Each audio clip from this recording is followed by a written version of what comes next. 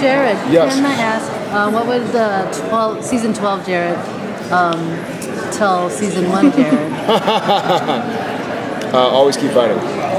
um, uh, stick, stick it through.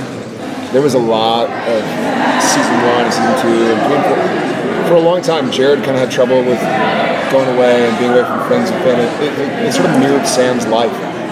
I was like, oh, I didn't know we'd go to Vancouver. Vancouver was beautiful, but I was like, I just finally like got a magazine subscription, and now like I'm gonna have to have my neighbor pick like stupid stuff. But I think a lot of Jared was pushing back on what he knew was inevitable, um, as Sam was. Uh, I would just say, kind of take the long view. There's a lot. Also, I'm not an old man by any means, but life is very different at 34 than it is at 22, um, and especially very different when you've got a two and four year old. So, uh, yeah, I'd, I'd say play the long game. You know, we've got this storyline with Mary now. Yeah. You know, to have kids an age that Yeah.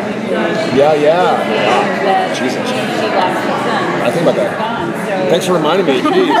Actually, I don't mean in a morbid way. No, I know, I know. mean in terms of you being able to actually be in Yeah. a place where you can kind of look at the storyline in a different way. Sure. So tell me a little bit about um, how you're anticipating that's going to do Sam and the, and the brothers dynamic. Yeah, uh, great question. Um, I feel like for Sam, it's the first time we're going to see him as a son because he didn't have that relationship with his dad. You know, it was more butting heads and contentious. And he wanted to be away from his father.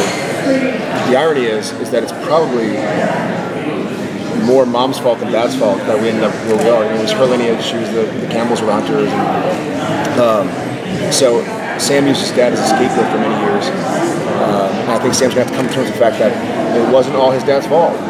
Uh, and Mary, had the situation been flipped, had John been killed, Mary probably would have done the same thing and exacted vengeance as well.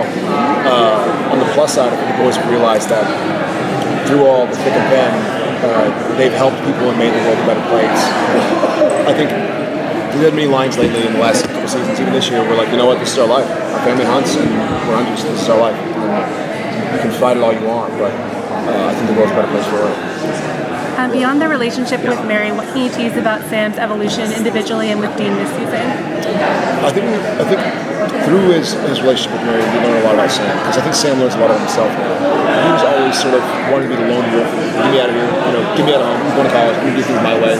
Now he's in a situation where his mom's back in his life, and he wants to learn more about his family. You know, like he knew his he knows his brother playing well, but he didn't know a lot about where he where he really came from. I think he had conversations with John, uh, and so I think in recounting to Mary kind of what's happened in the last thirty something years of Sam's life, I think he's going to learn a lot about himself and realize like what he's done and it kind of crazy cool retrospection. Like, hey mom, here's how I've been for the last thirty something years. You won't you won't believe this, but I think he'll learn a lot about himself in the process. Thanks, guys.